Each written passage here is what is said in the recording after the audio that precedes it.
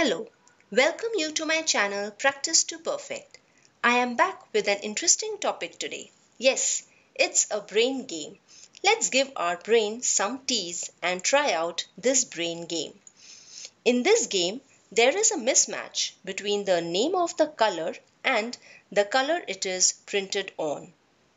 In this game, there are three stages. Stage 1, where the name of the color and the color it is printed on is same. In stage 2, the name of the color and the color it is printed on is different, but same color is used for similar text. In stage 3, the name of the color and the color it is printed on is different and different colors are used for all the text. Now coming to the instructions to play the game. The first instruction is you have to read the words that are printed no matter what color ink is used. And instruction 2 is try to read the color of the ink that is used to print no matter what word is written. Coming to stage 1, you will see that green color is written in green ink and red is written in red ink. So all the colors are written with the matching ink color. So you will find that reading all the words and the ink color will take similar time. Like, let me read it out for you. Green, red, blue, yellow, pink, black.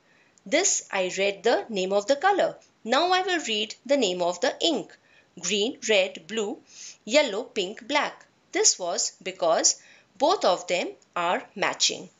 Now let's come to stage 2. Here you will see that green color is written in pink ink, red is written in yellow ink, blue is written in black ink. So here there is a mismatch between the name of the color and the ink that is used to print it. So first follow instruction 1 that is read the words that are printed and second read the color of the ink. Similarly in stage 3 there is again a mismatch that is the words, the color words and the ink color that is used to print it are different. So again, first read the words that are printed. That is, read green, red, blue, yellow, pink, black and go till the end. That is till the last line. And now read the color of the ink. That is blue, pink, black, green, red, yellow, red, blue, green, yellow, pink, black and so on. So this was a very good and interesting exercise for your brain. So there are many different ways to do this workout like you can try reading it from top to bottom or from bottom to top or maybe in the horizontal direction starting from the right bottom corner and so on.